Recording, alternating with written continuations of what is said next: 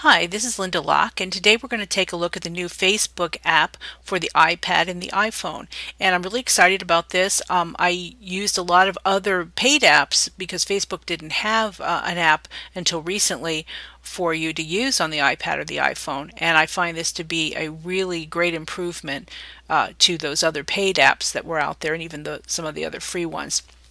So um, what I want to do today is take you through a little quick tour of it. And uh, this is especially great uh, for people who are on the go. If you have your iPad or your iPhone and you want to be able to check in with your Facebook pages or your friends, um, monitoring things, uh, check into places as you go around doing your business during the day. Um, this is a great way to, to do that and it really makes it quite easy. So let's get started and we just press on the Facebook icon and it's going to bring us directly into the news feed. And at the news feed you can see all your top stories and you can go ahead and scroll through, see all your pictures. It all looks really great. You can comment on things and like them by just clicking on the plus symbol on the right hand side and then you can click like or just press like or comment and then go ahead and put in a, a like or make comment on the post. All your chat uh, available chat uh, friends are on the right hand side and like I said it's really quick and easy to scroll through. Um, if you want to go see something different, a different feed, then you can go ahead and click in this upper left corner, just press on that, and you'll be able to um, see your own profile page. So you can go into that if you'd like to. If you press on that, it'll bring up your own profile and you can go back to the menu.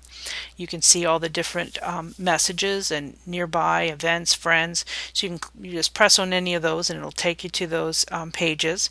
Uh, you can also see your lists here. So if you have your business friend or your family, like I have, and then the, finally we have pages here at the bottom and uh, you can click on press on one of those and this is my MLM Woman News page and you can see my wall. You can just drag down to update the the post so you have the latest and again you can press on these icons on the right and go ahead and uh, see who else has liked things and uh, go ahead and like it if you like and if you don't decide not to do that you can just flick it to the right.